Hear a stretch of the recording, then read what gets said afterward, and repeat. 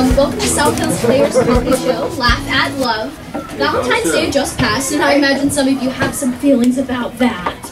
Positive or negative feelings? Uh, probably some of both. I bet there are some lonely hearts out there and some really happy customers.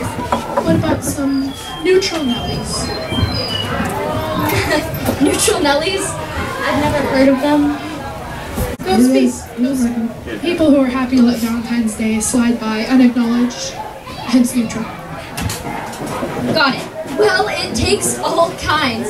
On that note, we have we have a word from our sponsor before we get to the comedy Bowl. Yes. Thanks to our sponsor, Last Resort. When you've tried all the rest, come try The best? No. Last Resort is a dating service for those of you who have tried everything else and have one last gasp of romantic hope left. Last Resort will help you find your least objectionable mating options and present them in a timely fashion. Last Resort will hit your choice of mate over the head with a mallet and drag them to City Hall. Hold on, that, that can't be right. Sorry, I got carried. Let's get started with the comedy show, folks. Tonight, in honor of good old Saint Valentine, we are talking about love, dating, and marriage. Or lack thereof. We have skits, monologues, and more for your enjoyment. Next, we have a monologue from All right. Hello, everybody. All my writing notes like this now.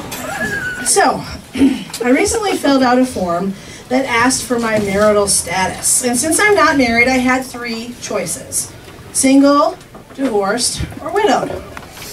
Automatically, I checked the divorce box, and then it hit me. I don't consider myself divorced. I mean, I am divorced, but that happened over 14 years ago.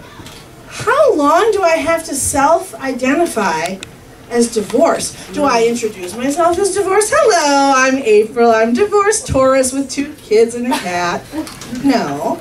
Um, I don't even really talk about my ex unless someone brings it up specifically, like if someone wants advice about marriage. I have a lot of thoughts on what not to do. Um, but consider this if you were in a car accident 14 years ago, do you lead with that when you meet people? Is that your status now? Car crash survivor and CEO? Probably not. I'm not necessarily equating divorce with a car accident. Divorces are much worse.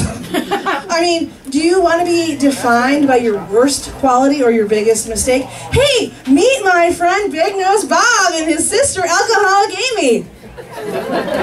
Hey, would you like to meet my boss? His, his name is Gambled Away His Children's College Fund Gregory.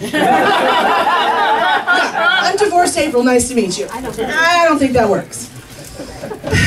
But seriously, I feel like I survived my marriage and then I survived my divorce, and in the end, this was a victory.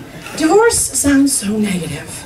This should be a triumphant title like Her Most High Majesty of the Royal Divorced Order, first of her name and mother of children in therapy.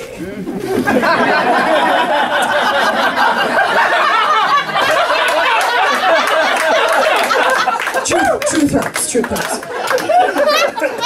But your marital status is, I feel, not really anyone else's business, is it? Unless you and I are planning to get married, do you need to know if I'm married or not? Do you care if your barista is single, married or divorced or widowed? Does this concern you about your accountant? Or your doctor or your kid's preschool teacher? Probably not. And yet every form you fill out asks this question banking forms, health forms, employment forms, and of course every dating site. Well, now that's maybe the only place where this really matters, right? If you're on a dating site, you should be single, married, or divorced. Uh, divorced, widowed, single. Married people, you are stuck with your fate. Deal with it. Please stay off the dating sites, married people. Thank you. But believe me, they don't stay off the dating sites. They don't. They don't. They don't. At this point, I've been not married longer than I was married. So when do I get to be single again? How many years do I have to walk around with this scarlet letter attached to my name? Because that's what it feels like. Oh, she's divorced. Do you see the scarlet D on her forehead? Yeah. D for damaged goods. She's probably got tons of baggage, kids, and loads of debt. Stay away, scarlet letter D, divorce, run for the hills! I may be projecting here a little bit. I do seem to scare away most potential suitors. I like to blame it on my divorced status or the fact that I have kids and no money and a bad attitude, frankly. It's probably the divorce thing, right? Yeah, uh, we're gonna say that's what it is, sure. So I've decided to reclaim my single status and change the scarlet letter from a D for divorced to D for damn, she's awesome.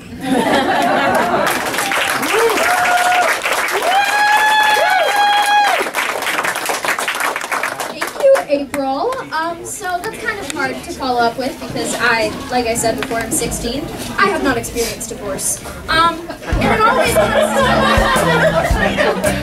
Listen, it could happen. Let's hope it doesn't. Um,